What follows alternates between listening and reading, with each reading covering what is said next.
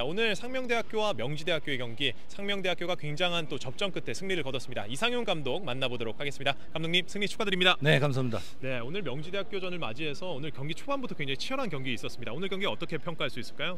저희가 그 1라운드 때 명지대한테 역전패를 했어요. 네. 그래서 지금 그때는 좀 석공을 좀 많이 하려야 선수한테 지시를 했었는데 오늘은 좀 세트 오펜스 어, 위주로 좀 하면서 풀어나간 게 아주 주요했다고 생각합니다. 네, 오늘 뭐 주축 선수들의 부상에도 불구하고 김한솔 선수가 지키고 있는 골밑 그리고 곽종훈과 전성환이 외곽에서의 활약이 뛰어났었거든요.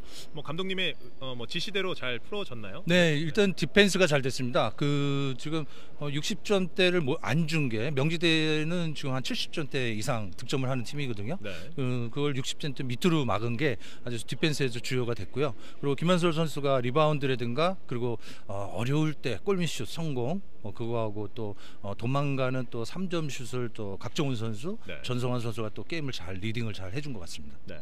이제 뭐 상명대학교가 4승째를 거두면서 플레이오프 그리고 전국체전을 나가기 위한 또 이제 교두보를 잘 마련을 해놨는데 앞으로 뭐 시즌 남은 어, 기간 동안 어떻게 준비하실지 각오 한 말씀 부탁드리겠습니다. 뭐 지금 건대나 명지대도 지금 잘하는 팀이지만 앞으로 남은 팀들이 좀 더 잘하는 팀들이거든요. 어, 그래서 좀 준비를 잘 하고 어, 이 부상자들이 빨리 돌아와야 되는데 이 장기간 또 이 부상 이기 때문에 좀 빨리 돌아오도록 지금 재활에 힘쓰고 있습니다. 그래서 잘 돌아와서 잘 준비해 갖고 다음 경기 준비하겠습니다. 알겠습니다. 오늘 승리 다시 한번 축하드리겠습니다. 감사합니다. 네, 인터뷰 감사합니다.